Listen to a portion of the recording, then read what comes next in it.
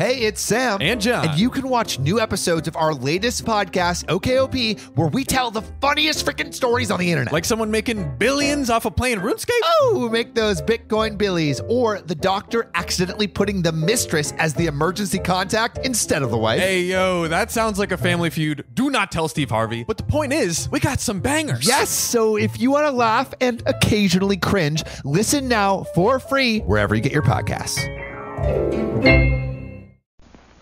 The Pet Milk Program with Fibber McGee and Molly. The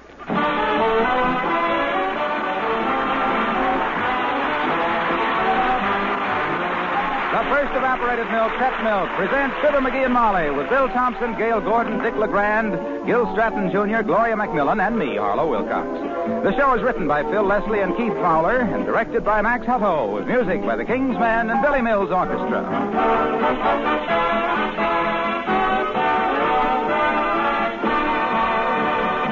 When a young woman marries and starts to keep house, one of the first things she wants to learn is how to cook the foods her husband likes. And Pet Milk gives you young wives the help you want. Because on every tall can of Pet Milk, there's a husband tested recipe. Before any recipe is put on a Pet Milk label, it's sent out to homes like yours, where the wives try the recipe and report what their husbands say about it. And on pet milk labels, you get only those recipes which have been given a big OK by the husbands. This, of course, is just one of the extras you get when you get pet evaporated milk. Extra nourishment is another because pet milk is double rich, concentrated to double richness by evaporation. And then there's extra economy, for pet evaporated milk costs less generally than bottled milk or any other form of milk. So, for husband pleasing recipes, for extra goodness, and extra economy. Get Pet Milk, the first evaporated milk, the first choice of good cooks.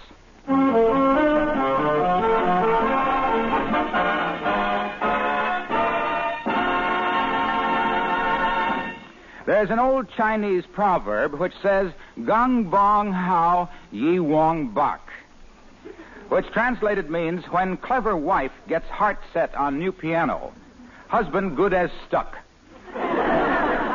And by an odd coincidence, here's Mrs. Molly McGee with a young girlfriend of hers on their way home from a piano sale right now.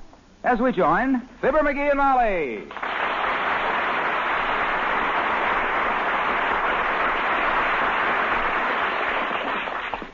I'm delighted to see that sale at the Bonton, Debbie, because McGee and I have needed a piano for years. They had some wonderful bargains, all right.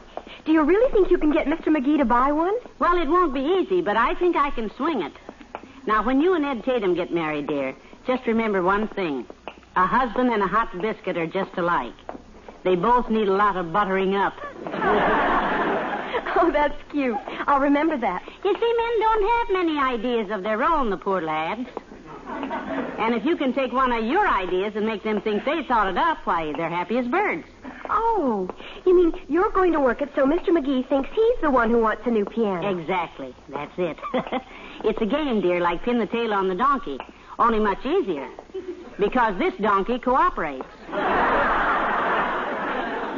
Pushes his tail right into the pin. Well, how do you go about it, though? Well, you watch. I'll walk in the door and say, McGee, I just saw a wonderful sale on pianos at the Bonton. And he'll say, a sale on pianos? My gosh, a piano costs a fortune. Well, then what? Then I'll say, but ours is shop theory. And he'll say, all it needs is tuning. I'll tune that piano myself.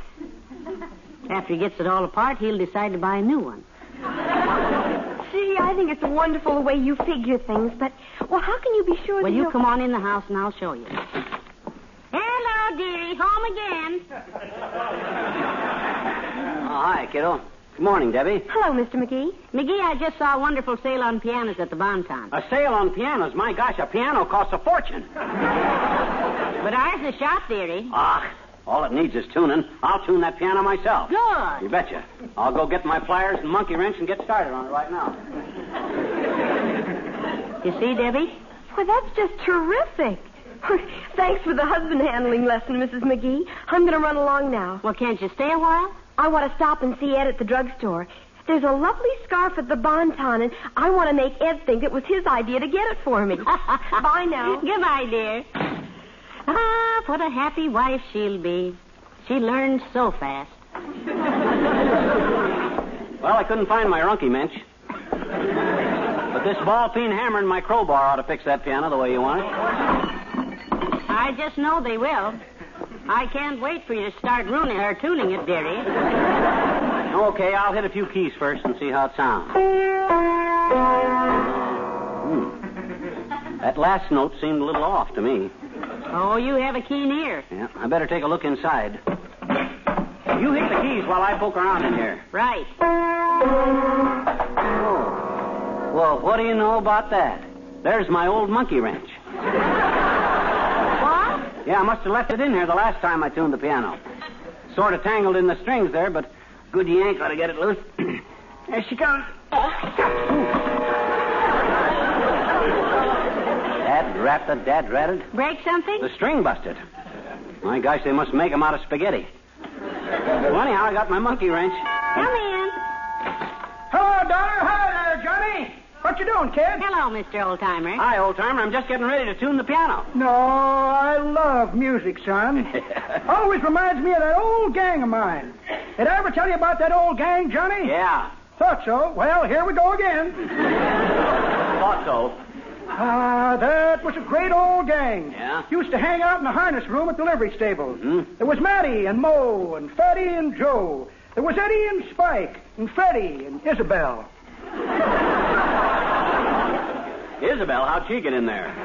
Oh, Johnny, she owned the livery stable. and your old gang loved music.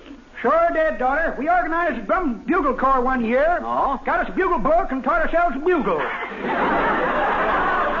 Very impressive group, that old gang of mine. I'll bet. Matty and Mo and Fatty and Joe.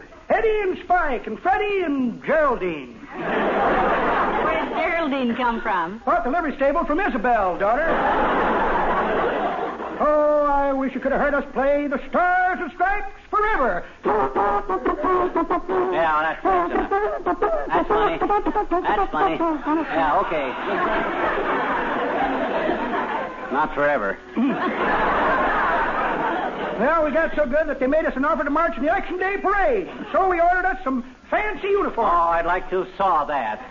Uniforms didn't get there until just before parade time, so we leapt into them and got ready. Boy. Green silk pants, red velvet jackets. Wow. Them tall fur hats that looked like teddy bears was roosting on our heads. What a picture. Well, sir, we got into line, took a deep breath. Yeah? The leader gave us a downbeat. The parade started. We all tripped and fell flat on our faces. My goodness, what did you trip on? Our green silk pants, daughter. We forgot to order belts. Come on, kid. Come on.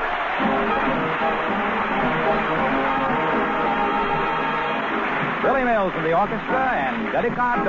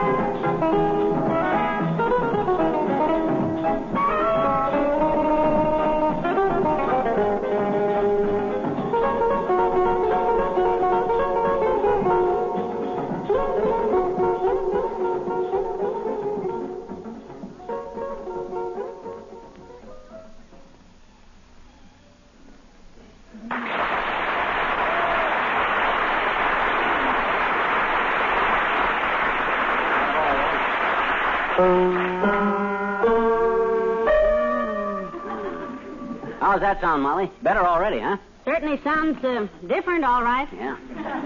I already took care of one problem. You know them three keys that was always stuck when you hit them? you won't have any more trouble with them keys. Good. Got them loose, did you? Plenty loose. They're over there on the windowsill. Oh, great. They sure use cheap glue to put them ivories on with. I, I just gave one little lift with my crowbar, and all three keys fell off. Well, I really think this was a wartime piano, dearie. Yeah. Civil War time. they don't make. Oh, come in. Hello, Ollie. Come in. Well, good morning, Mrs. Hello, McGee. Uh, pull up a chair, Ollie. I'm pretty busy right now. Yeah, that's better. Ah, that's perfect. Let's see now. It's uh, is he doing what it looks like, Mrs.? That's right, Ollie. Tuning the piano. Yeah, probably looks pretty tough to you, Ollie, but when you happen to have a natural talent for fixing things, plus perfect pitch, and also an ear for music, it's simple enough. Oh, you got a good ear for music, McGee. I can see that. Betcha. I often think what a fine mandolin pick your ear would make.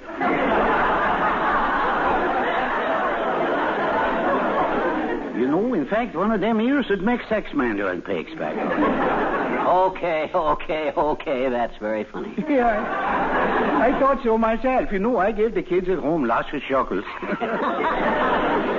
Well, you have a wonderful family, Ollie. Those children of yours must give you a lot of happiness. oh, sure they do, Mrs.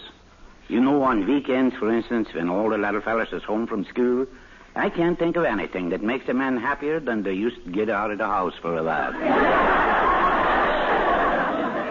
That's a nice kid of yours in the Navy, that Lars. What do you hear from him? Anything? Oh, yes, ma'am. Mrs. gets a wonderful letter from Lars for Mama's Day. Oh. He likes the Navy fine. He says he's going to stay in it when he gets out. Oh? And the letter says, Mama, he says, when I get to be a big admiral, I save all my money and I took care of you and Papa the rest of your life. Now, isn't that sweet? That's what I mean, Ollie. Yeah, it's very touching. Me and the missus figures it up. When Lars gets to be an admiral, we'll be 218 years old we, we, we, we won't need much. I, I go sit down now and wait. That's all right.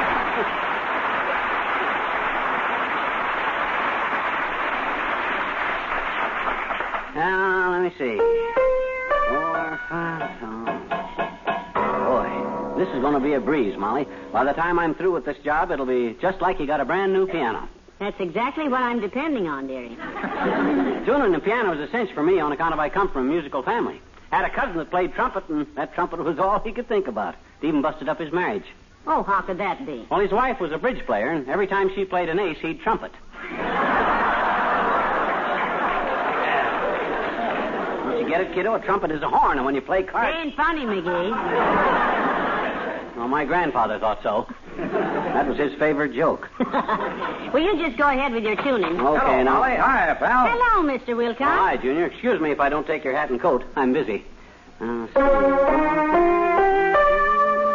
Uh, what's with the piano, pal? Well, it's a little out of tune, so himself is taking care of it. yeah, stick around till I get a tune, Junior. I'll I'll beat out a little harmony for you, boy. Well, if you're looking for harmony, pal, real sweet harmony, I can tell you where to find it. Uh-oh. Right in the Pet milk recipe of the month. Huh? Chicken, peas, and rice dinner. Covers the entire musical scale. Oh? Let me show you. Here, tap out the scale for me, pal. Ah. Humor him, dearie. Humor him. We're trapped. Oh, oh. Okay. Do. Dough. That's the dough you save when you treat yourself to this delicious but economical dish. That milk's chicken, peas, and rice dinner. Ray. Ray. That's what you say after the first taste. Ray for that Pet milk flavor. The poor laddie works so hard. Me. Me. That's me, Harlow Wilcox, the ah. man who gives you all these fascinating facts. This guy's a regular Oscar Hammerhead. Fa. Fa. That's what I'd say to anyone who doesn't try this pet milk recipe. Fa. Please, there's a lady present. Sol. So, that means if you once eat this combination of chicken, peas, and rice cooked with pet, you'll be completely sold on it. Oh, dear. There. Now he's really grabbing. Hurry it up, dearie. yeah, la. La. La. La. Uh, hmm. La. Better skip that one. You can't win them all. No, no, I'll get it now. I'll get it. Wait a minute, wait a minute. La. La. Oh, that's for the satisfying goodness of chicken, peas, and rice a la pet. This thing's really getting a grip on him. See. See, that's for the grocer you should see to get plenty of your favorite brand of canned peas and pet milk for this wonderful recipe. Do. Dough. Say, I already did dough once. But there must be another one. There is. Do. That's for the dough. I wish you all wouldn't slam when you all go out. I'll close it quietly. So long.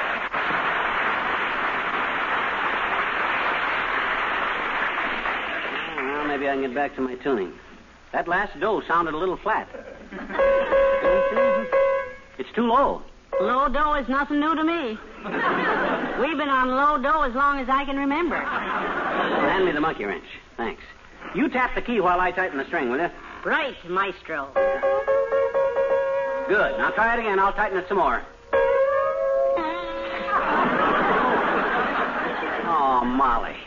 You played it too hard. Gee whiz, you busted the string. What? I broke it. Why? Come in. Good morning, Molly. McGee. Hello, Mr. Mayor. Oh, hi, La Triv. Um, what are you doing to that unfortunate piano, McGee? I'm tuning it. Hey, watch your feet there, Homer. Don't step on the lid there. Lid? Yes. You mean to tell me one of these misshapen slabs of imaginary mahogany here is the lid of your piano? No, both of them is the lid off of the piano. It's split. Well, it's every man's right to destroy his own property, I suppose. Uh, certainly. Since when did you get so music-minded, anyhow? I have always been interested in music, McGee. Huh? In fact, Miss Newell and I often Ah, go to... Miss Newell. How is she, Mr. Mayor? Oh, Lillian is fine, Molly. Just splendid. Still out to still out to hook you, is she, La Triv? Oh, don't be silly. Miss Newell's only love is music. She's a concert violinist, you know. Yeah, well, you want to watch them female fiddlers, La Triv. She'll saw you into a sentimental mood some night and braid you an alder halter out of an old fiddle string. When she drags you down that aisle, boy. Oh, no, don't, don't, don't talk silly. Yeah, what's? The idea of a delicate little thing like Miss Newell dragging anybody anywhere is ridiculous. Oh, is she really delicate, Mr. Mayor? Oh, quite, quite, Molly. Oh? We were walking along Oak Street yesterday, and she turned her ankle on a matchstick. we uh, we had to stop and look in a shop window for several minutes before she was able to go on. Oh, what shop was it? A Huggins jewelry shop. What was in the window? Wedding rings. But it was merely a coincidence. Now, McGee, don't tease Mayor La Trivia. Oh, well, it doesn't bother me, Molly. When you've been in politics as long as I have, you learn to take it with a smile and turn the other cheek. Is that what you do when your fiddling friend kisses you? Yes, yes. First she gently kisses the right cheek, and, and then I kind of... Oh, stop it! Alas, poor Homer. We knew him well. McGee, Miss Newell is giving a concert tomorrow night at 8.30 at the Civic Auditorium. Oh, fine. It just occurred to me that I might run into you there. Could be. Fine. I'll look for you in front at 8 o'clock. Thought it was 8.30. It is, but at 8 I'll be driving up in my car. That's when I'd like to run into you. Good day.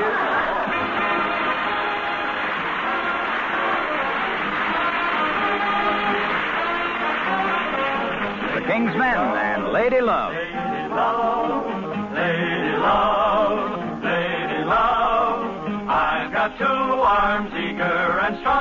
Two arms to hold my lady love. But they've been oh so empty, so long that heaven knows I need my lady love. Lady love, lady love. Oh, beautiful toothpaste, beautiful soap, beautiful brush and comb. Fixing to meet my lady love, fixing to walk her home. Beautiful razor, beautiful blade, beautiful shaving cream. Fixing to hold my lady love, fixing to have a dream. Lady love, lady love. I've got two eyes, two eyes have I. I've got two eyes to see my lady love. But they have seen her only at night, for she is all that I've been dreaming of. I've been dreaming of my lady love. Oh, beautiful talcum, pretty perfume, bought the five and dime. Fixing to kiss my lady love, fixing to have a time. Beautiful sunset, beautiful sky, beautiful everything. Fixing to love my lady love, fixing to have a fling. Beautiful toothpaste, beautiful soap, beautiful brush and comb. Fixing to meet my lady love, fixing to walk her home. Beautiful razor, beautiful blade, beautiful shaving cream. Hold my lady love, to have a dream. I've got two arms eager and strong. I've got two arms to hold my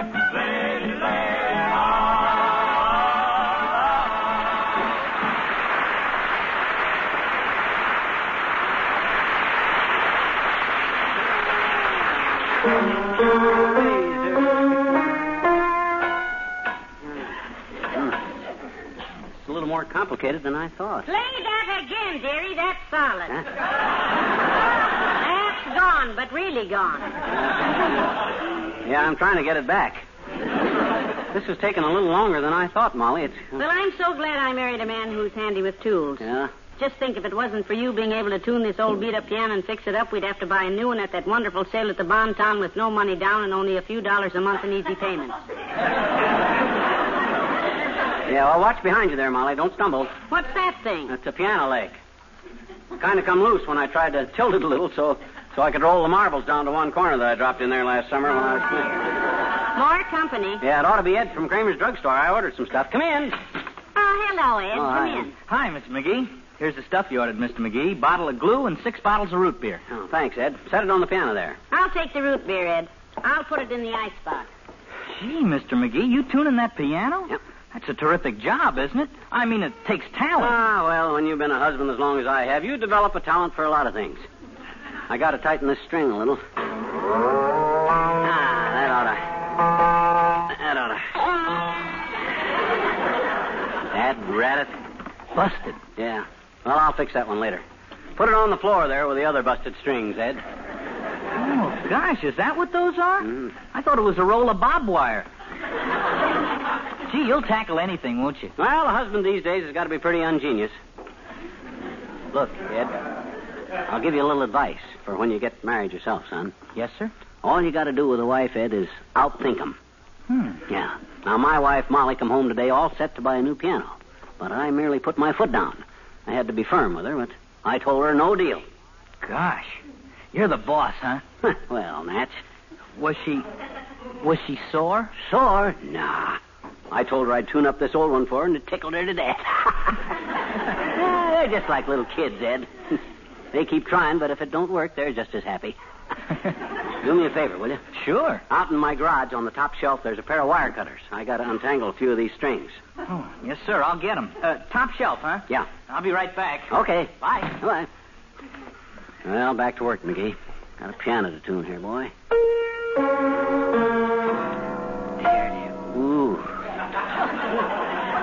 Is that awful? Now, let's see if I can reach down in here and tighten these bass strings without. Whoop! Dad rat it, I lost my wrench in the piano again. All the rotten, dirty. Oh, well. All I gotta do is reach down in there and get it. Ah, I got hold of it. Give it a little yank. This ain't the. Hey, last time I tuned this thing, there was a great big bolt underneath here. Oh, yeah, there it is, a big bolt. I loosened it and it done something. Oh, I'll loosen it up and see what it's for. Uh, uh, it's coming. A little more. And...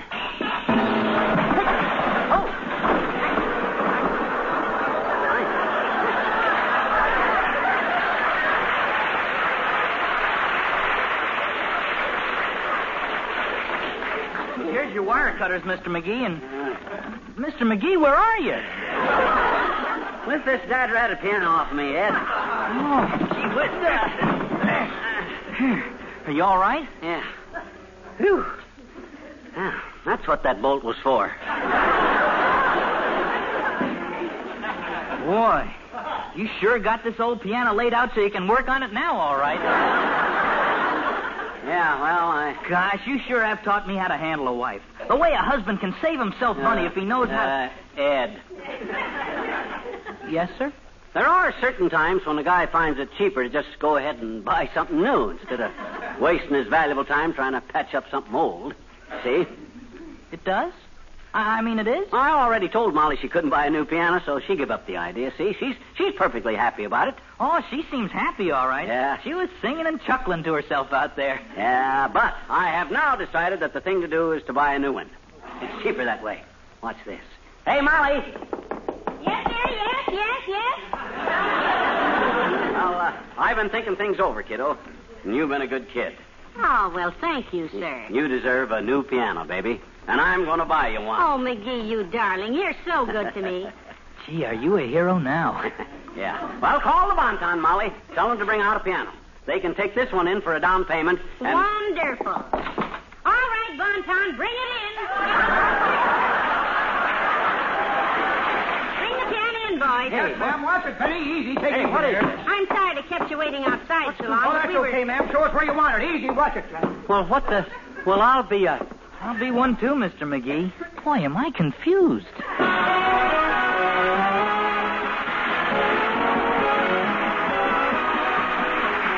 Fibber and Molly return in a moment. There are times when nothing seems to give you the same lift, the same deep down satisfaction as a good cup of coffee.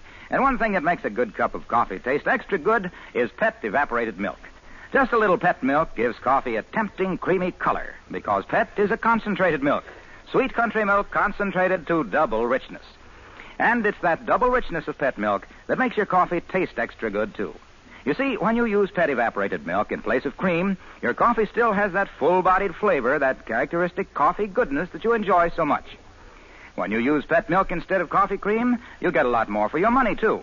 In fact, you get more than twice as much for your money because Pet milk costs less than half of what you'd pay for cream. So, for your own coffee drinking enjoyment, for extra goodness, extra savings, too, use Pet evaporated milk. Get several cans at your grocer's tomorrow.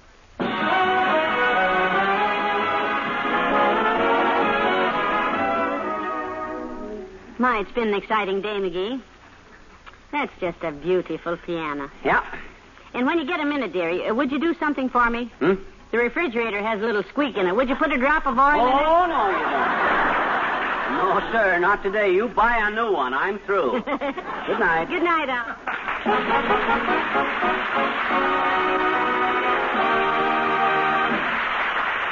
The first evaporated milk, Pet Milk, brings you Fibber McGee and Molly each week at this time. Be with us again next Tuesday night, won't you?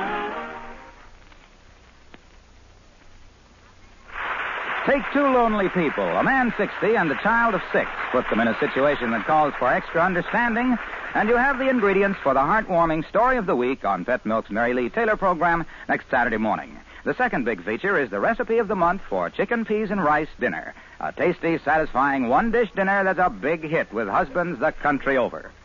For a double measure of good listening, tune to Pet Milk's Mary Lee Taylor program next Saturday morning on NBC.